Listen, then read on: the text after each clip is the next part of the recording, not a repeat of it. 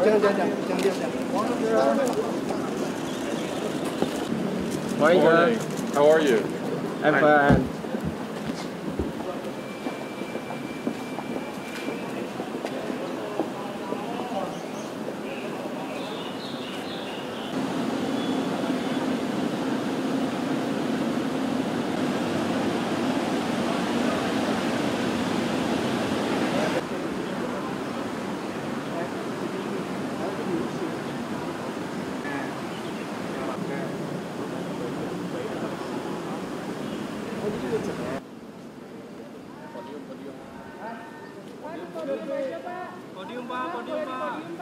Podium Pak.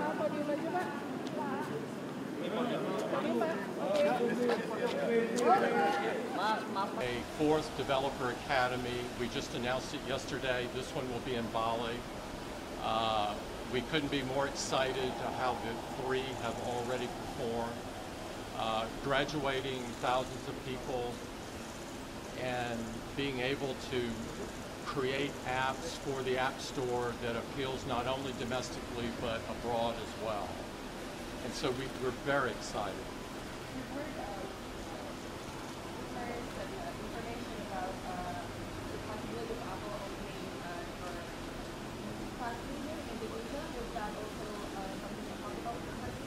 I'm sorry, opening Factory. Oh, a factory. Uh, We talked about the president's desire to see manufacturing in the country, and it's something that we will look at. But thank you. Sir, what makes you confident to make uh, investing in Indonesia? I love Indonesia. I love the feel here, the culture. I love the youth, the vibrancy, the dynamism of the local environment. And so I see all the key ingredients for a country uh,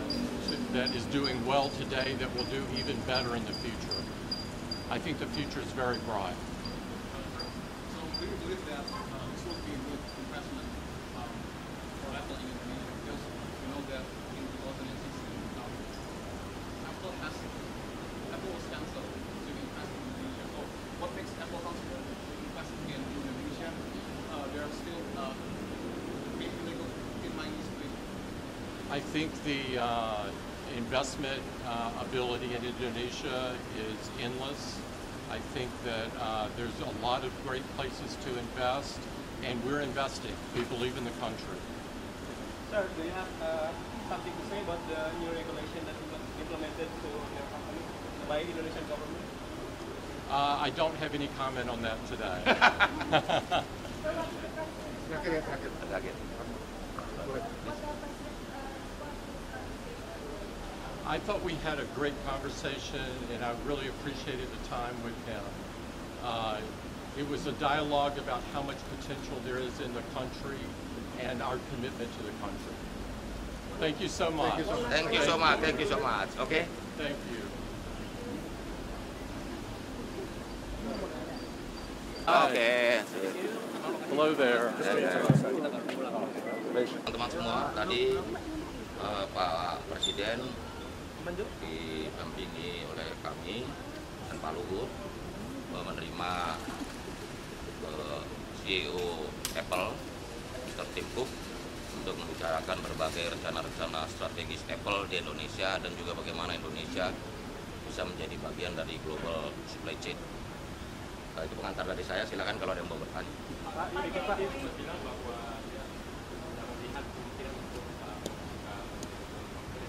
Oh iya, iya tadi udah dijelasin. Kita tadi angkanya nih udah Pak Pak main pengen ceritain angka-angkanya. Tadi udah bicara ini. Lihat datanya, tahun lalu itu Indonesia memproduksi hampir 50 juta unit HP diproduksi di Indonesia. 2,8 juta unit import. Ya. Yang diproduksi di Indonesia 50 juta, 2,8 juta yang import. Dari 20 2,8 juta import tersebut, 85% adalah produk-produk angkanya sekitar satu atau dua bilion dolar 2 bilion atau 2 miliar dolar Amerika angkanya angka importasi.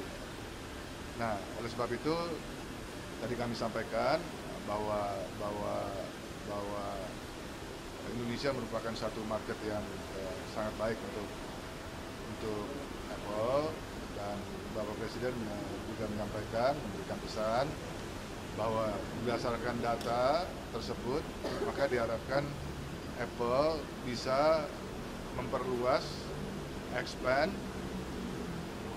dari establishmentnya yang ada di Indonesia. Establishment yang ada di Indonesia sekarang kan tiga Apple Developer Academies. Dan di tambah satu lagi. Surabaya, Batam, sama Tang- Tangerang. Mereka sudah umumkan kemarin bahwa akan menambah satu lagi di Bali. uh, fasilitas di Bali. Dan ini sebetulnya keempat fasilitas uh, Apple Developer Academy ini memang berdasarkan dari kesepakatan antara Indonesia dengan dengan Apple antara pemerintah Indonesia dalam hal ini Kementerian dengan Apple untuk mereka bisa mendapatkan nilai 35%. Hmm. Jadi basisnya adalah investasi. Basisnya adalah investasi. Ya, nah, dari tiga Apple Academy, mereka sudah investasi 1,2 sekitar 1,2 triliun rupiah. Jadi kalau bisa di di komparasi antara nilai importasi yang saya sampaikan tadi sekitar 2 billion dolar Amerika ya dibandingkan dengan investasi, maka tadi kami Bapak Presiden juga meminta agar supaya establishmentnya diperluas. Cara memperluas eh, establishment itu banyak, banyak caranya. Salah satunya yang tadi disampaikan adalah manufaktur. Ya, manufaktur. Nah, manufaktur ini untuk menjadi eh, supply chain-nya dari dari perusahaan-perusahaan eh, global, perusahaan-perusahaan besar seperti Apple memang membutuhkan satu proses, membutuhkan satu proses. Nah, jadi tadi eh, kami sudah eh, kami sudah sepakat bahwa proses tersebut, akan kita mulai proses untuk eh, membangun manufaktur mereka di Indonesia atau atau mereka menggunakan komponen-komponen yang memang sudah sudah bisa diproduksi di Indonesia. Nah nanti setelah dari sini dari eh, Kemenprint nanti akan melakukan proses business matching. Kami sudah punya listnya terhadap eh, komponen-komponen apa saja, komponen-komponen eh, HP, cell phones ya, yang sudah diproduksi di Indonesia yang mungkin bisa kita kawinkan. Namanya business matching. Ya, eh, business matching. Kalau business matching itu prosesnya lebih cepat. Prosesnya lebih cepat karena barangnya sudah ada. Tinggal mungkin nanti ada penyesuaian-penyesuaian dari dari speknya dan lain-lain. Tapi manufacturingnya nanti kalau dia kalau mereka akan mulai membuka fasilitas uh, fasilitas pabrik itu juga akan dimulai dibicarakan. Itu salah satu dari bagaimana mereka bisa memperluas establishment.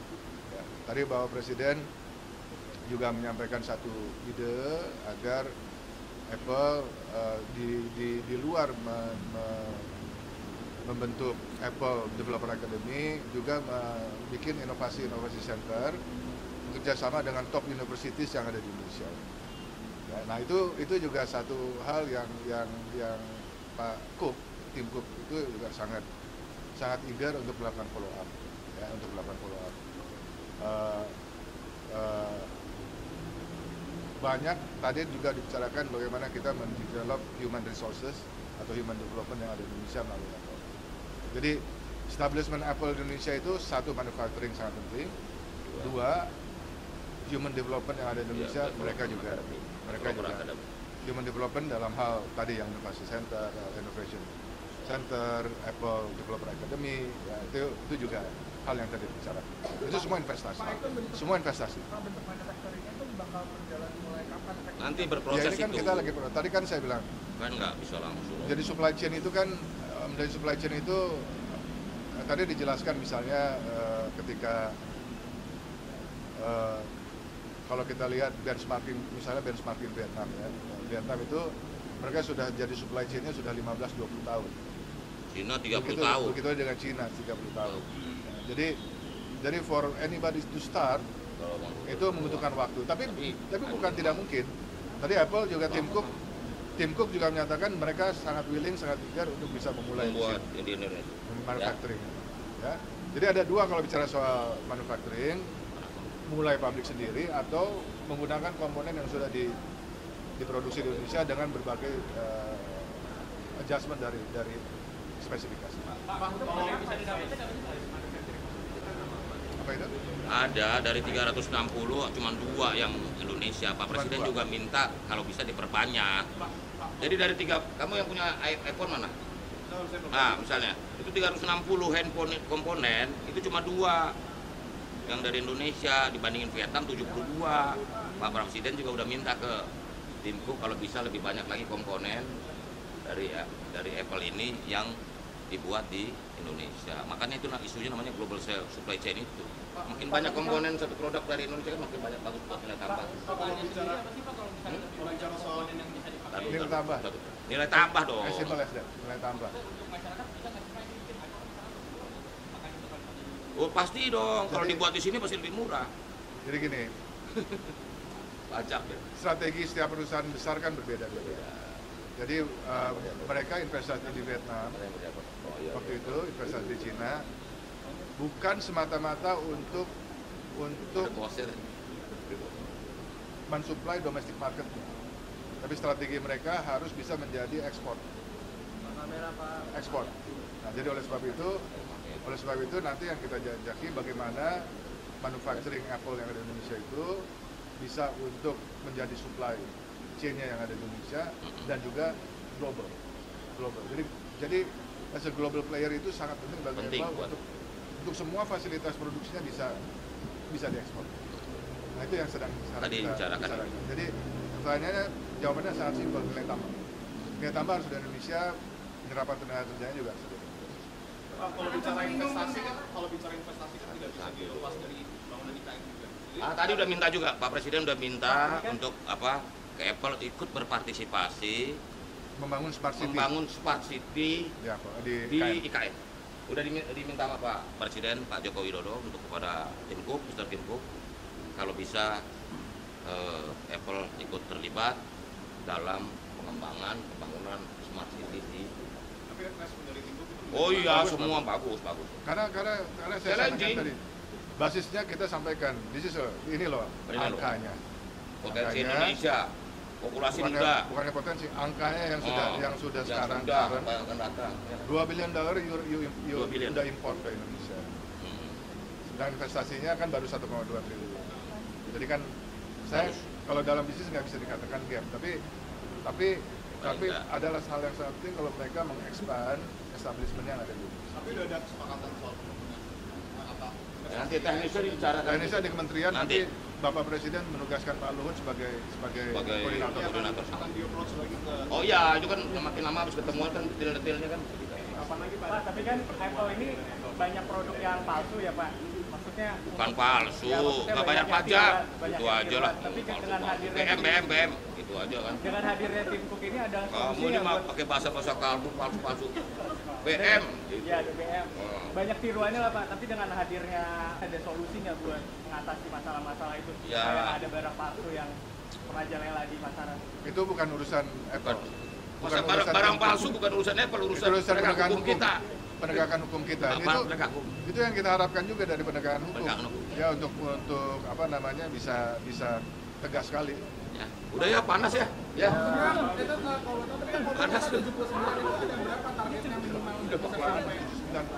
Kan tadi kan kalau ya itu ada berapa? 360 komponen. Nah, ini dari ini.